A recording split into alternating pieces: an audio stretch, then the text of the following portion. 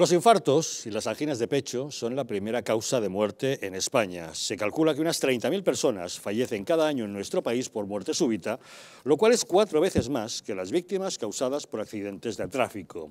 Ante un infarto, contar con un desfibrilador puede multiplicar por dos la tasa de supervivencia y ese es el objetivo con el que nace el proyecto Protege tu vida.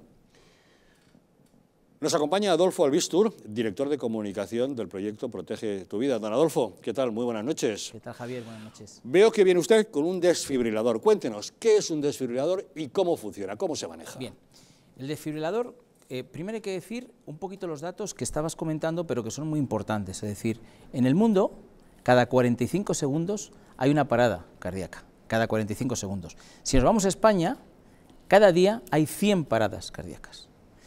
Pero el dato ese, pues decir, es mucho o es poco, ¿no? El problema grande es que sobreviven solamente el 5%. Es decir, que de esas 100 que hay, 95 no siguen con nosotros. Esto es lo que en su día hizo que los desfibriladores se intentaran poner en muchísimos sitios, en muchísimos sitios, porque el desfibrilador, que era la pregunta que me hacías, Javier, lo que hace es desfibrilar. Es decir, todos hemos visto las películas, o nos han hecho algún electro, vemos este movimiento del corazón, titi, titi, titi, eso es un corazón que está bien, ¿no? que va haciendo sus pulsaciones. También hemos visto en las películas cuando hace así, que quiere decir que está parado. Bueno, fibrilar, ¿qué significa? Fibrilar significa que hace un movimiento así. El 80% de las veces que hay una parada ha empezado con una fibrilación. Si nosotros atajamos rápidamente esa fibrilación, provocaremos que no exista esa parada, es decir, que ese corazón no llegue a pararse. Y eso se consigue dando una descarga eléctrica en el corazón para que recupere su ritmo habitual. Eso es, la descarga lo que va a hacer es eso, es que el corazón en ese momento, y, estoy hablando de una fibrilación que es la más peligrosa, que es la ventricular, la, la ocurre abajo, es decir, no es, la, no es la auricular, sino la ventricular, que es la que entra y sale, pero es la que necesita realmente, porque la otra puede provocar pues un ictus, también es peligrosa, pero la que te provoca la parada es la ventricular. Y lo que va a hacer el desfibrilador es a través de esa carga lo que va a hacer es que ese corazón, que está en un movimiento que no es el adecuado, pues se ponga en un movimiento adecuado. Es decir, eh, ese primer eh, paso es fundamental que lo entendamos. También es fundamental que sepamos que no hay ningún problema con el desfibrilador, es decir, no va a hacer nunca nada malo. Es decir, si en el momento que el desfibrilador está analizando ese corazón, no está en parada, no está fibrilando, no es necesario su uso, no va a dar la descarga. Claro, es que a la gente le puede preocupar. Es que ¿cómo le voy a dar una descarga eléctrica a alguien que no lo necesita? A ver si le voy a hacer más daño. No, el aparato ya determina si es necesaria o no aplicar esa fórmula. Eso es, el aparato, él, va a hacer el estudio, va, además, eh, ahora explicaré un poquito cómo se coloca los electrodos, porque coge justo el, donde el corazón eh, puede hacer ese, ese estudio y dice, es necesario, además, en este caso estamos trabajando con un desfibrilador que se llama semiautomático.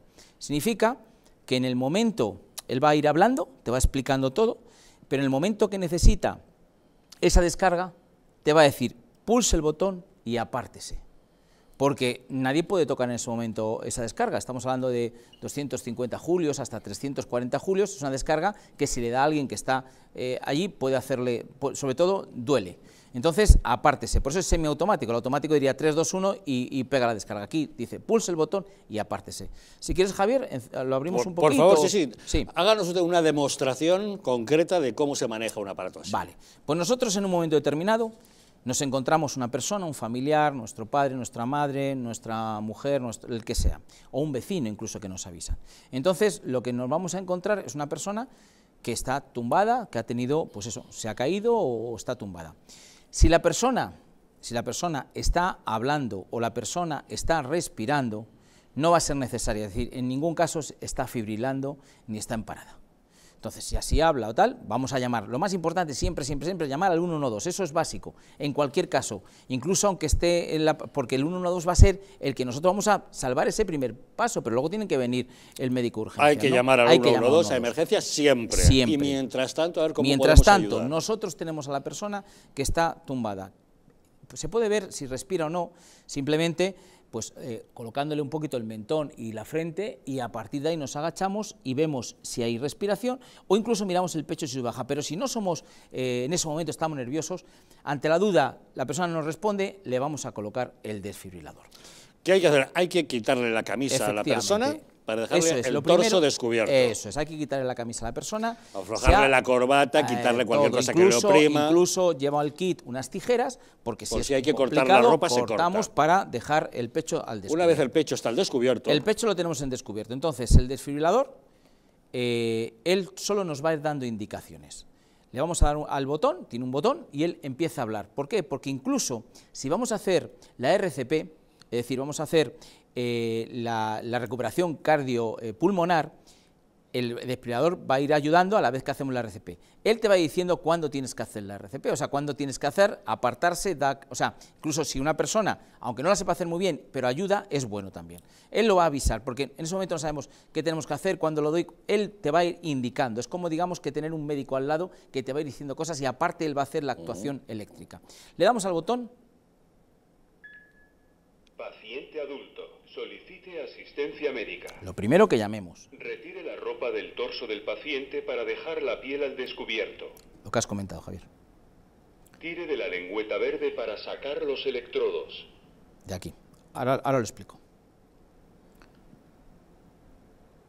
Retire el recubrimiento de los electrodos. Ahora los voy a explicar. Aplique los electrodos al torso desnudo del paciente como se muestra en la imagen. Presione los electrodos firmemente contra la piel del paciente. Vale. Hasta aquí. Es decir, nos dice que retiremos los electrodos. Los electrodos están aquí dentro, se, Se tira de la, tira de la lengüeta lengüeta verde, y verde y salen esto- sacamos- estos electrodos.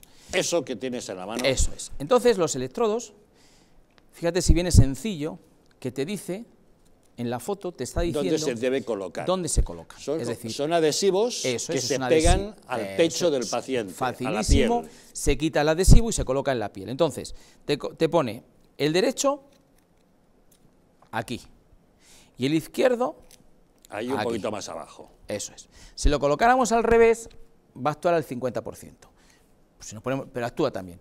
Aquí y aquí. Se, des- se le quita de aquí, Se le quita es un adhesivo, el protector y se pega con el adhesivo y a sobre partir de ahí ya hacer caso a lo que dice Entonces la la máquina. ya detecta que tiene los electrodos colocados el paciente Eso y ya es. empieza a chequear. Eh, chequea y te dirá en un momento determinado, pulse el botón, que viene un botón bien clarito con un corazón, este botón, pulse el botón y apártese. Mandando descarga, manda la descarga, él va a ver qué va ocurriendo, va a tardar uno o dos minutos, mientras, si puedes seguir haciendo, te va a decir, sigue haciendo el masaje cardíaco, si sabes hacerlo, o más o menos le puedes ir ayudando a la persona. A los dos minutos vuelve a chequear y va dando... Quiere decir que ya a partir de ahí, él toma la iniciativa, mientras que nosotros estamos esperando que venga, eh, en este caso, urgencia. Es decir, la máquina sabe si hace falta intervenir con esa descarga y después va monitorizando, con lo cual la máquina es consciente de la recuperación o no del paciente. Eso es, además todo queda en un microchip para que luego también se pueda mirar en urgencia, lo pueda mirar el médico, qué es lo que ha ocurrido con ese corazón. Los tres, cuatro primeros minutos son esenciales. Es decir, nosotros todos nuestros órganos de alguna manera se pueden regenerar, se pueden ir eh, reparando. El cerebro no. El cerebro es un órgano que si está tres o cuatro minutos sin que le llegue sangre, la parte donde se estropea, es decir, donde no ha llegado sangre, ya no se regenera. Por eso hay muchas personas que detrás de, un- de una parada cardíaca, un infarto, quedan dañadas cerebralmente. Con lo cual, esos tres o cuatro primeros minutos son esenciales. Entonces, ¿qué recomendamos? Recomendamos que hay que llamar al 112. Si podemos, ponemos el teléfono en, manos libres. Llamamos un 112. Mientras que el 112 nos está contestando, hablando, nosotros ya estamos colocando el desfibrilador. Porque esos tres o cuatro minutos son esenciales, son básicos. Si, si tenemos un desfibrilador que sabemos dónde está, en un centro comercial, y está a más de cinco minutos, ya no merece la pena ir, porque en diez minutos ya no, es- ya Claro, por eso conviene tener el desfibrilador en casa. Eso es, lo más esencial es en casa, una, por lo menos en una comunidad de vecinos. Comunidad de vecinos yo creo que debería ser casi, casi, casi esencial, que todos sepamos que si entramos en el portal y tenemos un desfibrilador, le pasa a alguien, bajamos rápidamente, lo cogemos y no lo podemos usar. Pero si no, cada uno, y sobre todo aquellas personas que viven un poco alejadas, en chalés, tal, ahí sí que es básico, porque es que es de salvar la vida a no salvarla. Ya repito, los 3, 4 primeros minutos, a esto es cuestión de tiempo, el tiempo es básico. Primero llamar siempre al 112, es decir, incluso si estamos sin cobertura, no vamos a un sitio donde haya cobertura. Y llamamos para decir, me está ocurriendo esto, porque vamos a necesitarlo, porque esto al final tiene que venir una persona que luego siga todo el proceso, ¿no? Pero una vez que lo tenemos, colocamos, ya vamos escuchando, esos momentos te ponen nervioso, pero como él te va a ir indicando, es como si tuviéramos, ya digo, alguien al lado que sabe cómo tenemos que ir haciendo. Además, si llamamos uno o dos y decimos que tenemos un desfibrilador, ellos mismos también te van a dar la ayuda pertinente. Es decir, que cuando llamemos al 112 debemos indicar a quien nos atienda, tengo un desfibrilador, lo voy a poner y ellos mismos nos darán instrucciones también. te van dando instrucciones, pero él también te va diciendo, por ejemplo, pues bueno, en, lo que es el masaje cardíaco, pues hay que dar 30 veces, ¿no? Y luego parar. Ahora no se recomienda mucho que se haga el de boca por el tema del COVID. Pero bueno, serían dos de boca y 30 masajes, dos de boca y 30 masajes. Hay una, hay una manera sencilla de ir dando para saber qué es el ritmo adecuado, que es contando 1001, 1002, 1003, 1004, 1005. Es decir, es una manera como para mantener un ritmo, ¿no? Pero eso ya son cosas un poquito, digamos, él, él también, el, el aparato va diciéndote uno, otro, otro, si lo sabes hacer. Aunque no tengas mucha fuerza, no pasa nada porque todo lo que ayudes es bueno, ¿no? Para lo que es la parte respiratoria. Pero ya repito, Ojalá, ojalá, y lo digo de verdad, pudiéramos esas 100 que tenemos en España pudiéramos salvarlas. Si tenemos un desfibrilador de casa, las salvamos. Yo sé que hay veces que dices, bueno, pero esto no, no yo no tenía conciencia de esto, pero tenemos conciencia de tener una alarma, ¿verdad? O tener un extintor, o tener un seguro de vida.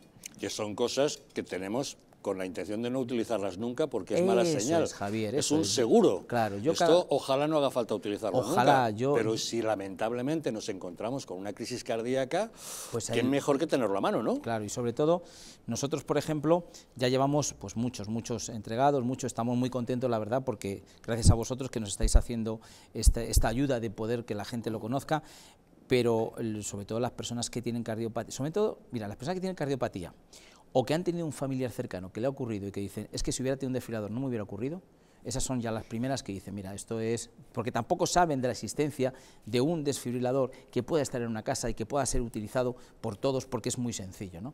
Pero de veras, yo os animo a que tengáis un desfibrilador en casa, vais a salvar vuestra vida o la de las personas que tenéis alrededor o incluso algún vecino, porque es la única manera de que esa estadística tan tremenda de 100 paradas eh, diarias en España la podamos hacer que ese 95% que al final no viven puedan vivir gracias a que han actuado inmediatamente.